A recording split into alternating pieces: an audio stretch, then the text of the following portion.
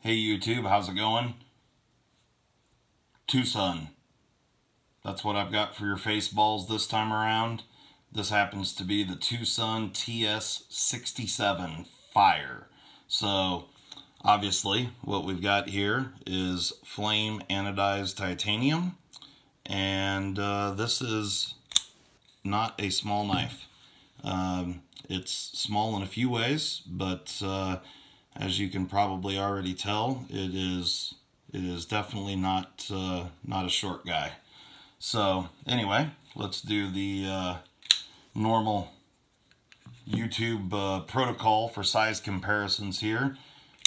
So I've got uh, Spyderco Manix 2 there on the top and the uh, Para 3 lightweight here on the bottom. So as you can see, uh, blade lengthwise, the old TS67 Fire is not messing around. Um, let's see here, we'll get, uh, oh, let's do another big huge knife. Do the uh, Cold Steel 8015. Get these guys lined up here. So, as you can see here, uh, this is actually, they're damn nearly exactly the same.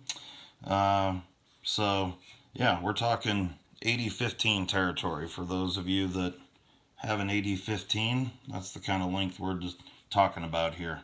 So, anyway, let's uh, let's get to it. So what you're looking at here is the uh, TwoSun TS67 Fire. Um, and you got an overall length of eight and a half inches. It's actually just just over that. It's like 8.55. Uh, you got a three three and three quarter inch blade. You got uh, just over four and three quarter inch handle, uh, a little over 4.8 inches. And in this dimension here, the height of it is uh, 0.775. So just over three quarters of an inch. And uh, the width of the knife is just under a half of an inch. It's 0.46. Um, blade thickness here, you're looking at eighth inch, so 125 thousandths. And then thickness behind the edge on this guy is super consistent. The grinds on this thing are really, really good. Um, and you've got about 23 thousandths all the way around. You can see here it's a compound grind, uh, saber flat grind. Uh, you've got this uh, flat up here at the top, and then the actual bevel of the knife, and then you have this uh, kind of rounded uh, bevel. So this knife does not have any distal taper all the way until you get to this grind right out here. So very thick tip on this guy and it makes for you know an interesting looking blade. Um, it uh, it works extremely well. I've had this guy for quite some time. I've I've actually carried it and used it quite a bit, and we'll kind of get into that a little bit. I do really like the blade. Um, it's extremely functional. Uh, works well, you know, for opening packages and that kind of a thing. Uh, I I do like the kind of rounded. I guess you could call it kind of a Tonto blade shape. Um, but, uh, you know, there definitely is a, a secondary point right here. Um, but yeah, it's just kind of an interesting knife. I, I really liked the aesthetic of it. And, uh, you know, I like how clean it is. Um, just really nice lines. And, you know, in the closed position, yeah, you can't, uh, I, I just, I really like the look of the knife. It's pretty neat. so, Anyway, for weight, uh, let's see here. So, so we're looking at a three, three and three quarter inch blade, and we're just under four ounces. So, yep. So you know, not uh, not overly heavy, um, but you know because it's it's relatively small in this dimension, it, it does make it feel like it's pretty substantial. Um, so what we're looking at here is uh, obviously titanium handles um, and they're titanium frame lock and uh, it is riding on uh, ceramic bearings. Got a ceramic detent ball, milled titanium pocket clip. You do have a lanyard uh, backspacer. It's uh, milled into the backspacer there, so there is a lanyard hole. Um, I'm not a fan of lanyards, but for those of you that are, there you go. And then the blade steel on this guy is D2. And uh, the, uh, I can't remember who the uh, designer is on this one, but there is the designer's mark right there. So standard uh, TwoSun hardware, um, you know, you got uh, lock bar, hardened steel lock bar insert with an over travel stop. Like I said, ceramic detent. You know, quality wise, it's it's really good. It's right there with any other, uh, you know, Chinese titanium frame lock. Um, yeah, just really well done. The flame ano is is really well done. Like I said, I mean, I've carried this quite a bit, so you can see some, you know, little snail trails on there. And, you know, of course, show side pivot doesn't have a, a Torx head. But on the all the TwoSun knives that I have, all the hardware is always uh, T8 Torx, with the exception of the lock bar insert. That's always T6. Uh, but, yeah, you can see here that, you know, the flame ano carries over to the pocket clip, which is nice. You know, they lined those up and yeah, it looks nice. They did a good job.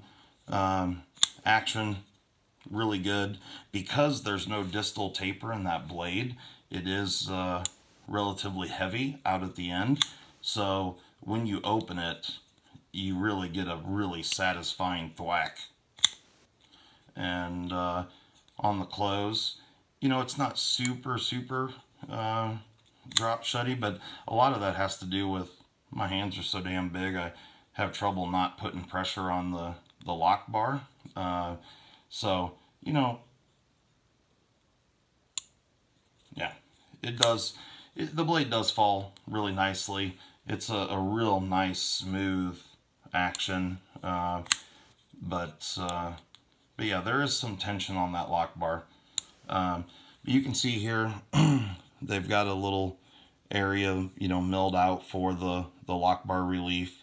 Um, because the lines on this thing are so straight, uh, I don't know if I'll be able to show this very well, but but you know because the when the detent ball falls into the hole, this side of the knife is not parallel with the blade. Um, and you don't really notice it so much on other knives, but on this knife you can really notice it just because it's so long and straight. So even though the gap on this side is consistent all the way down, um, you know, if you really look at it, you can tell that this side, you know, is off a little bit, but yeah, it's just the, the function of the, the lock bar. Uh, but, uh, yeah, like I said, really good action. So, let's, uh, we'll pull this thing apart real quick and show you guys what we're dealing with inside. Um, I always really enjoy TwoSun knives for disassembly. They're never have any uh, Loctite, which is just fantastic. And like I said, always T8 hardware. Also really like that. Um, really nice machined screws. And then also, you know, on most of their knives, not always, but on most of them, they do an O-ring under the pivot screw. Uh, so that keeps everything from loosening up on you during use. But yeah, so there you go. That's what we're looking at with the TS67. So you got this small back spacer. Oop, lost the pivot. We'll just go ahead and set that down. small back spacer. You can see the uh, the uh, lanyard hole there. And uh, you can see on this guy here where that lanyard relief is milled out. There's your over travel stop and ceramic detent ball. This is uh, blade blade stop uh, is in the blade and rides along uh, those tracks there in the scales. Uh, you can see the uh, nylon caged uh, ceramic bearings and you can see just a really nice uh, detent ramp and you can see the detent track there and yeah there's some pocket lint and stuff in here but but you know, overall the machining's really nice. TwoSun always does a, a really nice job. So, especially for the money, they're just uh, really, really hard to beat. And then one of the other things that they do that I like a lot, are these washers. You know, most companies just do flat steel washers. These are actually hardened steel washers with a groove cut in them for the bearings to ride in. And you can see that they surface ground those to be flat. And yeah, they just, just a really nice job. You know, and for the money, man, it it always just blows my mind at what you can pick these knives up for. So I think I picked this guy up for, boy, it's been a little while, but I'm wanting to say it was probably around uh, 65 bucks, something like that. So I, I know I didn't pay any more than $70 for it for sure. So I can't remember exactly what I gave for this particular model. Uh, but uh, but yeah, definitely definitely worth the money. I'm putting that O-ring on the wrong side. I should have just left it alone. Um, anyway, let's go ahead and reassemble this guy. So our bearing's already in place there.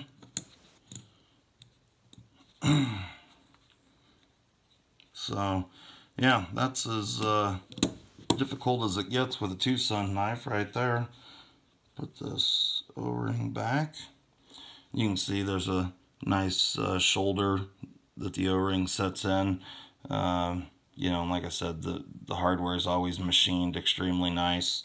Uh, the uh, Torx um, are always, you know, done deep enough to have positive engagement with your drivers and you know, just just nice hardware. Same with the body screws. You know, they're nice machined machined uh, hardware and yeah, just done well. Uh, now, all the TwoSun hardware that I have seen has always been stainless steel hardware. Um, so I don't know if they will start doing some titanium. Uh, it wouldn't surprise me if they do at some point, but as of right now, everything I have seen has always been stainless steel hardware. Let's see here. No blade play. We're centered. So, yeah. Action. Yeah, I got the pivot a little bit too tight here. Um, so, one of the things I did want to talk about, and really my only critique of this knife, I otherwise am pretty happy with it. Um, there we go. Um, is the pocket clip. Uh, you know, I, I like the aesthetic. I like the blade shape. Uh, really thin, really good carry that way. Does have a little bit of a larger flipper tab, but honestly, these days, you know, everybody's doing flippers so much that I've just kind of grown used to that, I guess. Um, you know, I, I do like, like I said, the aesthetic and the blade shape I really enjoy. I do like the flame ano. It's done nicely. The only complaint that I have about this is the damn pocket clip. so, a couple of things. One, you know, whether the, the lock bar relief is internal or external generally doesn't bother me too much. But this one it does because of the damn clip. So you can see that the pocket clip edge is really close to that lock bar relief cutaway. And you know, to me on this type of a knife, it would have made more sense to put that on the inside uh, just because of how just kind of blank and flat this knife is. But anyway, uh, they didn't do that. And as you can see, the ramp on this pocket clip is aggressive uh, on both ways. And it just is not good to get in and out of the pocket. And for that reason, it really frustrates the hell out of me. Um, you know, it's one of those things that if if this would have been a good pocket clip, um, you know, for example, like Spyderco wire clip, hell, I'd, I'd be happy if they put a wire clip on this thing. If it if this thing just went in and out of the pocket well, I would carry it a lot more than I do because I really, really like the knife otherwise. You know, it, it kind of reminds me somewhat of a, you know, I don't know, it has kind of a Laconico feel in its simplicity and its straight lines and such. Um, you know, I'm not comparing this design, uh, you know, saying that anyway, you, you, get what I'm saying. It's just, it's that type of a knife uh, where it's just nice, clean, straight lines. And, and I really like that and enjoy that. Uh, but, and, and the pocket clip looks fine, you know, um, the height of it's good. The, your pants material fits under there fine. That part's all fine.